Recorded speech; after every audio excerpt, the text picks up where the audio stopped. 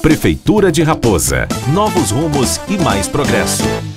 Em alusão ao Setembro Amarelo, mês da campanha contra o suicídio, a Prefeitura Municipal de Raposa, por meio da Secretaria de Saúde, realizou um encontro com os agentes de saúde do município, na UBS Terezinha Ribeiro Farias, na manhã desta quinta-feira, 27 de setembro. Uma roda de conversa foi formada no encontro, que também contou com as presenças dos profissionais do CAPS.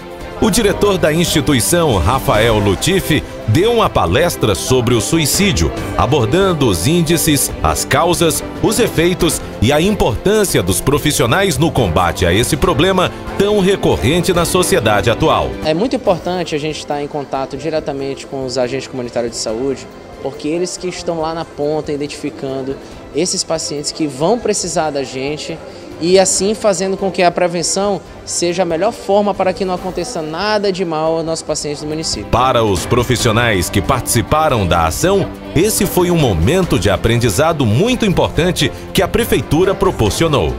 A importância de se investir nesse trabalho é por conta que a sociedade, as pessoas ainda têm esse tabu, né, de dizer que o CAPS, que é um local de cuidar de comportamento humano, né, saúde mental, é um local de louco, de doidos, né, vulgarmente como as pessoas chamam, né. E esse momento para nós, agentes comunitários de saúde, é bom para a gente estar tá inserido juntamente com o pessoal da saúde mental, com a saúde da família. É produtivo, sim, é muito bom porque a gente acaba se familiarizando mais, tanto profissional como com os pacientes também. Com a forte participação de todos no encontro, foi possível trocar experiência, estudar e analisar casos e adquirir mais conhecimentos. Foi muito proveitoso, né? Porque a gente trabalha no dia a dia com as famílias e a gente encontra muito esse tipo de problema e hoje a gente tirou as dúvidas, né?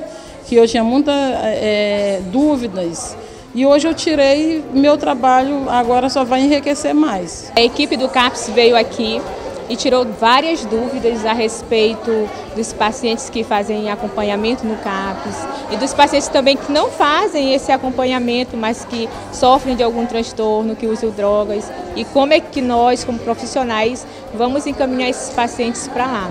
E acerca do suicídio, né, foi bem falado aqui, explicado, tirado todas as dúvidas, foi um momento bem proveitoso é a Prefeitura Municipal de Raposa com os olhos voltados para toda a sociedade, levando conhecimento e desenvolvimento para todos.